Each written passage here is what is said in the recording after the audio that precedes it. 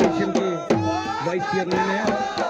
Cabinet मंत्री का rank दिया गया है।